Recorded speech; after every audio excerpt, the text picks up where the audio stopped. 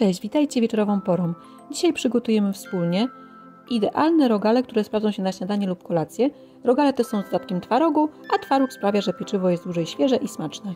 Witam serdecznie nowych widzów i zachęcam do subskrybowania kanału. Pamiętajcie, aby kliknąć dzwoneczek.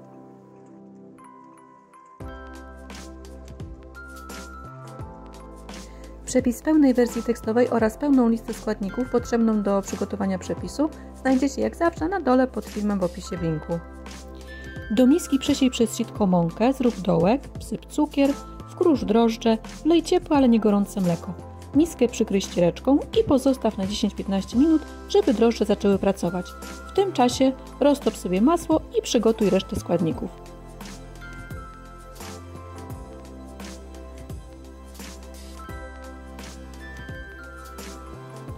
Gdy drożdże zaczną pracować, dodaj pozostałe składniki, czyli rozmieciony widelcem twaróg, wsyp sól oraz w trakcie wyrabiania ciasta roztopione letnie masło.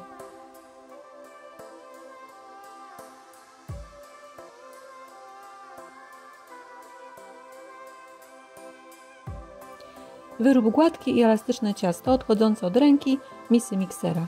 Miskę przykryj ściereczką i odstaw na jedną godzinę w ciepłe miejsce do podwojenia swojej objętości.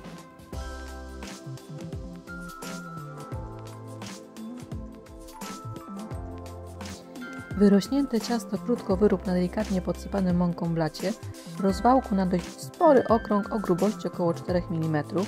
Ciasto podziel na 8 lub więcej trójkątów, każdy kawałek zroluj w zgrabny rogalik.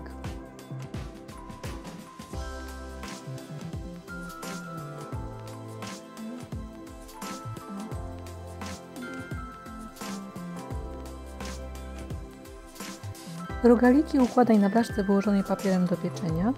Przesmaruj je roztrzepanym jajkiem i posyp ulubionymi ziarnami. U mnie akurat dzisiaj yy, mak, czarnuszka oraz słonecznik.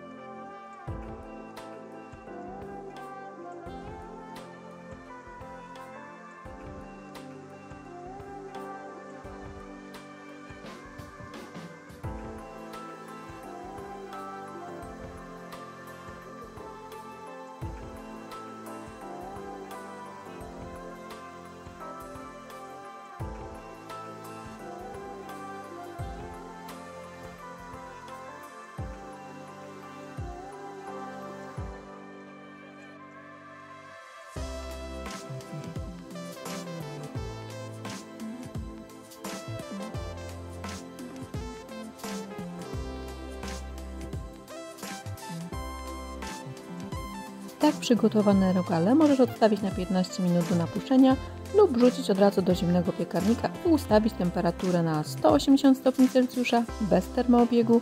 Piecz oczywiście góra-dół przez około 30 minut do zarumienienia.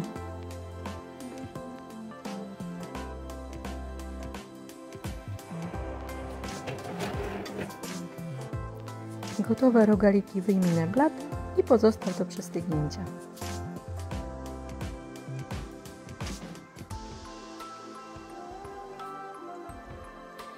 Kochane moje, dziękuję Wam serdecznie dzisiaj za uwagę. Mam nadzieję, że przepis przypadł Wam do gustu. Rogale z dodatkiem twarogu są naprawdę przepyszne i przepis nie jest skomplikowany, jest dość szybki, jeżeli chodzi o wypiek drożdżowy. W każdym bądź razie u mnie te rogale będą gościły na jutrzejsze śniadanie, a u Was mam nadzieję, że już całkiem niebawem. Pozdrawiam Was serdecznie, życząc Wam miłego wieczoru. Wpadajcie na mojego Facebooka, Instagrama, odwiedzajcie bloga.